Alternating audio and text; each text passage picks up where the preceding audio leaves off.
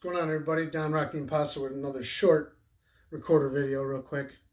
This is My Humps by the Black Eyed Peas, just uh, the excerpt, main part.